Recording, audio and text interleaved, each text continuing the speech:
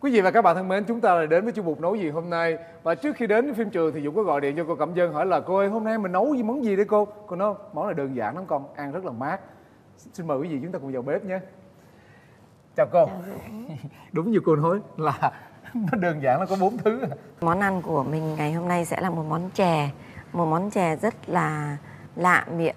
Đó là món chè bạch quả tàu hủ ki. Chúng ta sẽ chuẩn bị khoảng 100 gram bạch quả Dạ, Rồi một lá tàu hủ ki tươi dạ, 100 gram đường phèn đường phèn dạ và nửa lít sữa đậu nành Dạ. Thế thì bây giờ chúng ta bắt đầu vào à, việc làm. Thế thì với cái bạch quả đấy thì cô nói cho Dũng nghe này, Dũng mua, Dũng nên chọn những cái quả mà nó trắng như thế này. Cho nên nó mới có tên là bạch quả. Dạ. Thế cái quả nào mà Dũng nhìn thấy nó đã có hơi chấm chấm đen đen, tức là nó có màu mốc Dạ thì mình không có mua. Không mua hả cô hả? Ừ, không Dạ. mua. Thứ hai nữa những cái quả nào mà nó lại ngả qua màu vàng sậm mình Dạ. cũng không nên chọn Dạ. nhá. Dạ. Thì rất là dễ thôi Dũng có thể dùng một cái ờ, búa nhá hoặc là một con dao Dạ. Dũng đập nhẹ nhẹ. Đó. Thì Dũng sẽ tách được cái vỏ rất là dễ.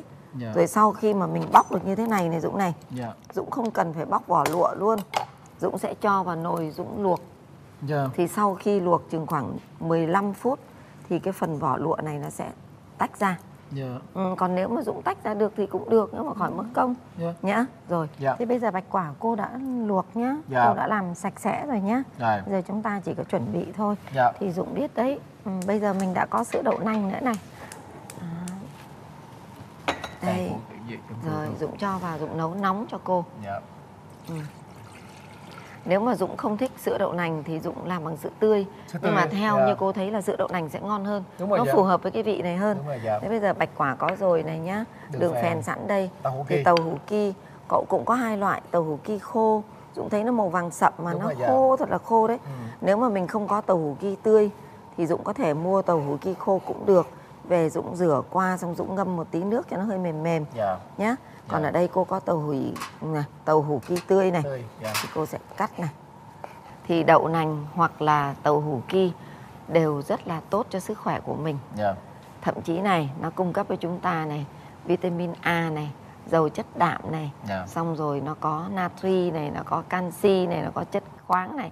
Thích không? Thành ra là món ăn ngày hôm nay là vô cùng tốt phải không nào? Dạ. nhất là những người lớn tuổi thì nên ăn nhiều đúng không? Thế bây giờ phần ờ, sữa đó nó sẽ bắt đầu nó Sôi hơi rồi. nóng rồi À, thì thì ta sẽ- Dũng cho đường phèn vào cho cô Dạ Cho hết luôn hả cô hả? Cho 100 hết gram đường phèn 100 gram đường phèn. Ui Ừ. Rồi. Rồi.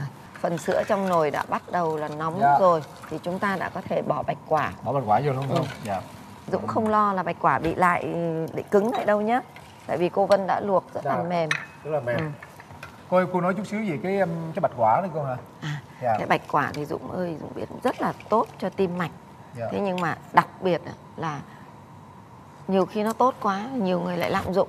Ổn. Bảo nào Ừ. ờ, phải à, phải ăn nhiều bạch quả vì nếu như vậy tôi bị tim tôi phải ăn nhiều bạch quả vào cho tim tôi nó tốt mà là không được Dạ. tại vì bạch quả rất mát tính lành mát nếu Dạ. Dũng ăn nhiều quá thì nó sẽ bị đầy Đây ừ. thế thì tàu hủ ki này đó là thật ra là đã chín rồi cho nên là Dũng không cần phải nấu sôi sục sục sục trên bếp nữa Dạ cô nghĩ rằng như thế này này Là là rồi. đã là ngon lắm rồi Rồi nhá tắt bếp cô bây nha giờ mình tắt bếp Ăn chè mà lại thêm có uh, trà nữa ừ.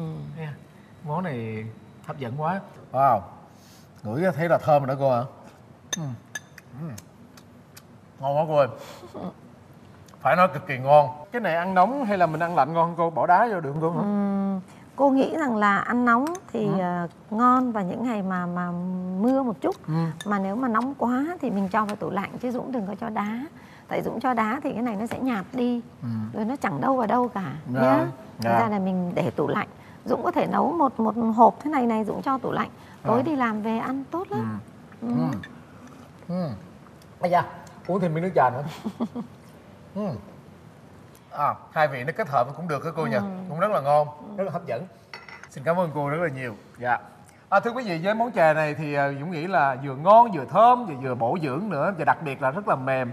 Bố mẹ của chúng ta ăn thì à, rất là thoải mái, không sao hết. Chúc quý vị và các bạn thành công nhé.